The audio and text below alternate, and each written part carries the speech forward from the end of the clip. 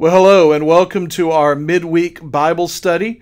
This is week three of our midweek Bible study on the book of Joshua, where we are taking either sections of the scripture that we're not going to be able to get to on Sunday mornings in our short series on Joshua, or um, this week talking about an issue that has come up, developed in the midst of all of this with the book of Joshua. And so um, we're walking through this book uh, just a little bit by a little bit, and we're going to actually jump ahead pretty quickly after this week.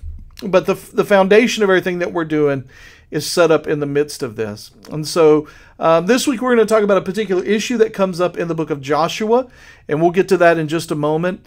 Uh, but I just want to remind you of where we are in the book. And so this is an outline that we've been looking at each week in the book of Joshua, and you can see here it divides into three main sections.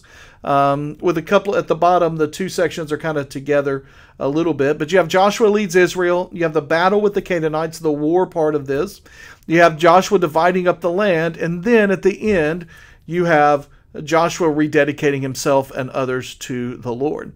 And so, uh, as you kind of look at these these sections, you can kind of see chapters 1 through 5 as preparation, chapters 6 through 12 as the battles, and chapters 13 through 24 really as post victory um, settling in. All right. And so as we've looked, we are moving officially into this section of chapter 6, which shows. Uh, really starts with the Battle of Jericho. Maybe at the end of chapter 5, we talked about on Sunday morning with the warrior of the Lord showing up. But chapter 6 is when the battles begin and Jericho is there. And one of the themes throughout this book, and one of the themes here, is that the Lord is fighting for Israel. We'll talk about that more in just a moment. But he is going to fight for them as long as they're faithful. And so the point, you see just on the screen there says the point, and you can't read what it says, is to inherit the promised land, they must be obedient to what God has called them to do. And so that's where we are in the book of uh, Joshua as we're walking through this book together, right? And so, as we do that, there was an issue that came up as we were kind of walking through on Sunday that I thought we needed to spend a little bit more time with, all right? And so it comes in the book of Joshua here. It takes me a minute to sometimes get my. There we go in the book of Joshua, chapter 6, verse 16. And it says, After the seventh time. Now, if you remember, when it comes to the Battle of Jericho, God had told him to march around for seven days. Once a day until the seventh day, when it would be seven times on the seventh day. So they do that and the priest blow the ram's horn. Joshua says to the troops, Shout, for the Lord has given you the city. The city, he says, and this is the part we want to really talk about today.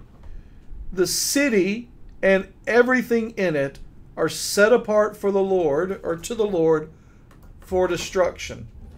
And so, when you read that, what we read about and what we understand and what we'll see in just a moment is that everything here means everything. Everything in Jericho is set aside to the Lord for destruction. A part of what's behind this is the Lord is reminding them that this is Yahweh's battle.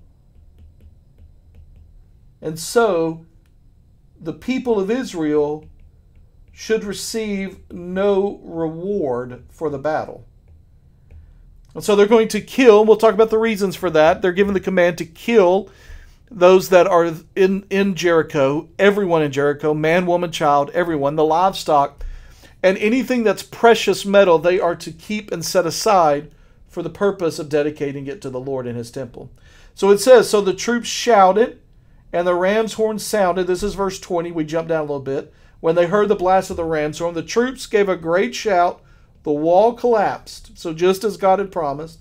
The troops advanced into the city, each man straight ahead. I talked Sunday morning about the fact that they were running to the battle, in my understanding. They captured the city and they completely destroyed everything in the city with the sword. Every man, woman, young, old, ox, sheep, and donkey. They destroyed them all. And so here's the question that I want to talk about today for just a few minutes. Why is this okay?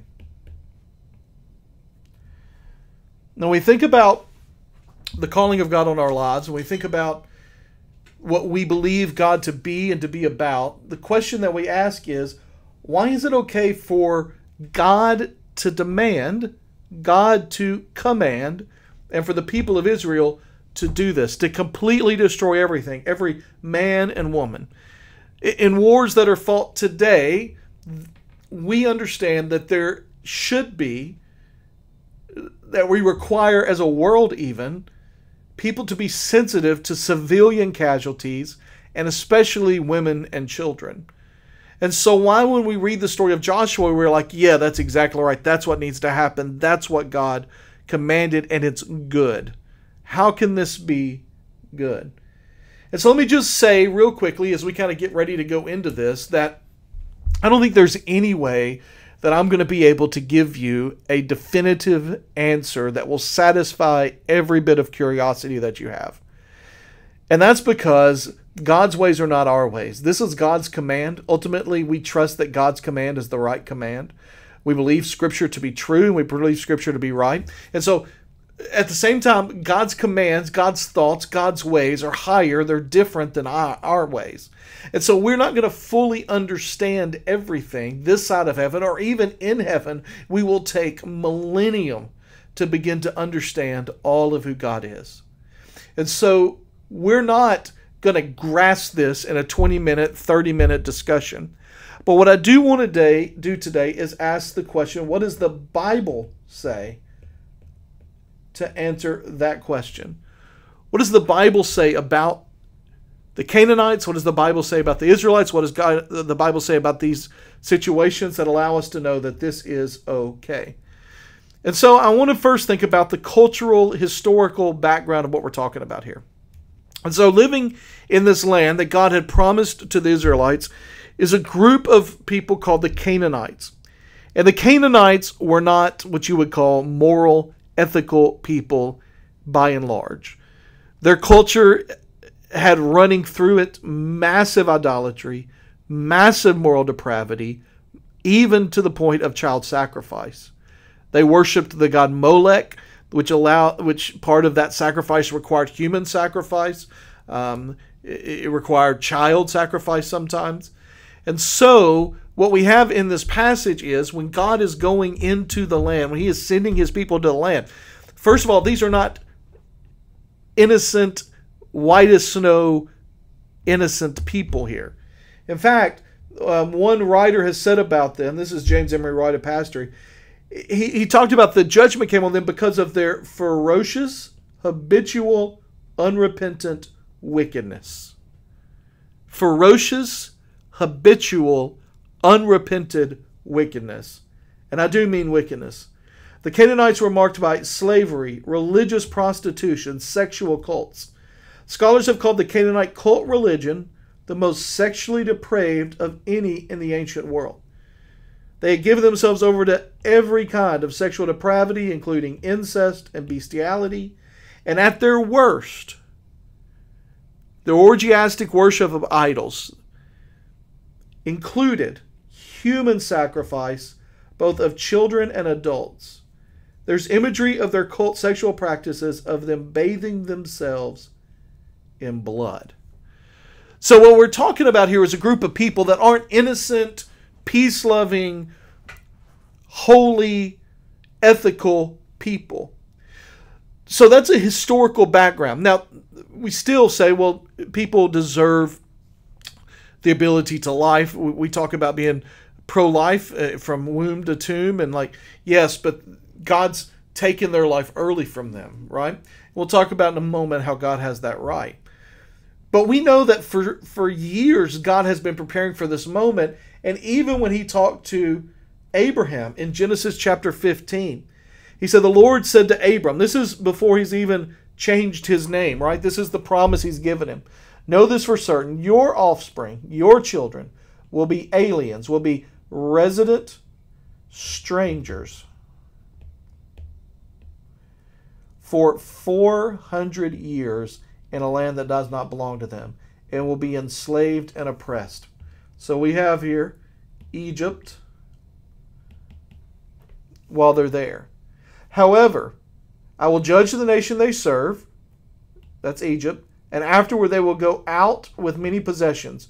Isn't it miraculous to think about, awesome to think about how God is predicting this well before Moses, well before Pharaoh, well before any of them are there, and it happens just as he says. He says, But you will go to your ancestors in peace and be buried in good old age. That's Abram. In the fourth generation, so after the 400 years, fourth generation, they will return here, for the iniquity of the Amorites has not reached its full measure. And so he says that they're going to be, um, they're not going to live here initially. There's going to be a 400 year gap. And that at some point, the Amorites Canaanites' sin is going to fill up, and God is going to not overlook their sin anymore. And so, part of what we have as the background to what's happening here is God's promise to Abraham. He's given him his word that he's going to provide for him in this place. He's going to provide them a place. He's this is part of the promise of I'm going to make you a nation, and out of you everyone's going to be blessed. And he says part of that will be they will take the promised land. We also have to understand that God is a holy God. And when you hear about the wickedness of the Canaanites and you hear about the wickedness of those people, you think about Habakkuk chapter 1, where God is completely opposite. With this, talking about God, says, Your eyes, that's God's eyes, are too pure to look on evil, cannot tolerate wrongdoing. So why do you tolerate those who are treacherous? Why are you silent while one who is wicked swallows up one who is more righteous than himself? And so there is this understanding in Scripture that for God to overlook sin indefinitely is for God to go against his own character.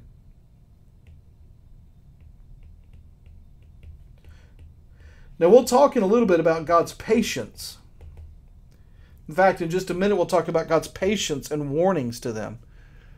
But the point that he is, is he has given them time to repent, time to come back, time to worship. And yet, he has overlooked sin, overlooked sin, overlooked sin, and eventually he had to do something about it. Because his holiness, his purity, cannot tolerate wrongdoing. Cannot. And so God has to do something about that. In fact, we know this from the New Testament. It says, For the wages of sin is death. This is the argument for um, why do good people go to hell? Well, the truth is, the first thing that we have to understand is Romans 3:23 tells us that all have sinned. And so the reality is there are no good people. And what I mean by that is, in God's standard of holiness, there is no one there, and that God has to punish sin or he is unfaithful to himself and to his character. God is holy, and his justice and holiness demands that sin must be judged. Your sin, my sin, all sin must be judged. And yet, God is throughout Scripture patient with people. He is patient with them about who they are. And so, when you think about the reason that God calls for the complete destruction of these people, the first primary reason is God must judge sin. And so, He's doing it for the judgment of sin. Look at Leviticus 18. What He tells, this is what He tells His own Israelites. Do not defile yourselves by any of this practice, for the nations I am driving out before you have defiled themselves by all these things. The land has become defiled. I am punishing it for its iniquity, and the land will vomit out its inhabitants. So he has this concept that there is a promised land that is God's people's land. And these Canaanites that are on it are defiling it by their sin. And that unless they are completely wiped out, they will continue to defile the land of God's people by their sin. This is divine judgment on the Canaanite nations for their persistent sin and rebellion. Look at what it says in Deuteronomy chapter 9. When your Lord your God drives them out before you. So when the Lord drives them out. So this is Deuteronomy right before Joshua. God's going to do it. God's giving them the land. He says, when that happens, don't say, The Lord brought me to take possession of the land because of my righteousness. Instead, the Lord will drive out these nations because of their wickedness. You're not going to take possession of the land because of your righteousness and your integrity. Instead, the Lord your God will drive out these nations because of their wickedness in order to fulfill the promise he swore. And we'll talk about that in just a minute. But it's evident here that it has nothing to do with the Israelites being good that gives them the right to drive these people out. They are driven out because of their wickedness, their persistent, horrible, defiling wickedness. So that's the first reason that God tells them to get rid of all of them. Everyone who does these acts is detestable to the Lord, and your Lord your God is driving out the nations because of these detestable acts. That's Deuteronomy chapter 18, verse 12. That's the reason the Bible says that the command is given, partially or primarily because he had to judge their sin. But then there's also the protection of Israel. There was a need to prevent Israel from falling into the same sinful practices. There was a need to protect their worship and the purity of their obedience to God. And so it tells us here in Deuteronomy 7. Now remember, Deuteronomy is so important for this because this is Moses summing up everything. It's his last sermon before he dies, and it's right before they go into the promised land. This would have been on their mind as they go, and Joshua would have been repeating this to the people again and again. When you Lord your God brings you into the land to entering to possess, and he drives out the many nations, the Hittites, Girgashites, Amorites, Canaanites, Perizzites, Hivites, Jebusites, seven nations more numerous and powerful than you. And when the Lord your God delivers them over to you and you defeat them, you must completely destroy them. So there's the command. Make no treaty with them, show them no mercy. You must not intermarry with them. You must not give your daughters to their sons or take their daughters for your sons. So there's the command in its most basic form. When you go, you destroy them. You don't make a treaty with them. You don't show them mercy. You don't intermarry. You don't do any of that. And then he tells us why in the next few verses. Because they will turn your sons away from me to worship other gods. Then the Lord's anger will burn against you and he will destroy you. Instead, this is what you are to do to tear down their altars, smash their sacred pillars, cut their Asherah poles, and burn their carved images. Why did God tell them to destroy everything? To protect the integrity of his people. In other words, if you marry, if you settle, if you live with, they will bring you down. So the first thing is he's got to judge the sin. The second thing is he has to tell them that you have to protect you. Your the integrity of worship the purity of the worship the obedience to god. And if you let them hang around they're going to bring you down right? And then the third thing is uh, by the way he tells them this at, at the end of that for you are a holy people belonging to the lord your god. The lord has chosen you to be his own possession out of all the peoples. In other words if you allow them to live you're going to give up your special place as God's people. And by the way, we see this. They don't follow God's command in every spot. And as they don't follow God's command in every spot, you see them walking away from the Lord, following other gods. And the last reason that he has them to stay or I mean, to, to, to stay in the land and destroy all the people there is the fulfillment of God's promise. This is the promise he gave to Abram in chapter 12, verses 1 through 3. And it says, Go from your land and your father's house to the land that I will show you. Make you a great nation, bless you, make your name great. You will be a blessing. I will bless those who hurt, bless you, curse those who treat you with contempt, and all the peoples of the earth will be blessed through you. God has a plan from Genesis to Revelation on how he's going to redeem the world. And at this moment in the plan, it is Abram's family, the people of God. And he says, I need you in the promised land, like I said, without the influence of evil, so that you can be the blessing to those that are around you. Here's something I.H. Howard said about this particular instruction and why it's important for us today. The instruction to Israel to annihilate the Canaanites were specific in time, intent, and geography.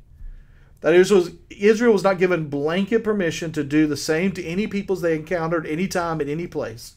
It was limited to the crucial time when Israel was just establishing itself as a theocracy under God to protect Israel's worship as well as to punish these specific peoples. Harsh as it is to our sensibilities, we should remember that it was for very clearly stated reasons and it was carefully circumscribed. This is for a specific people in a specific place at a specific time. And as a result of that, we can't take this as a blatant statement to, to just wipe out populations of people. But we can take some lessons from it. And I guess that's the question that we kind of want to end with today. What do we do with this? How do we apply what is here?